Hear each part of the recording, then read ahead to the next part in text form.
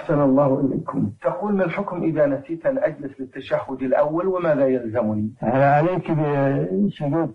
سجود السهو من ترك التشهد الأول سهوا ولم يذكره إلا بعد أن دخل في الركعة الثانية فإنه يجبره بسجود السهو قبل السلام وأما إن ذكر قبل أن يعتمد قائما فإنه يرجع ويأتي بالتشهد الأول لأنه ما فات وما فات محله نعم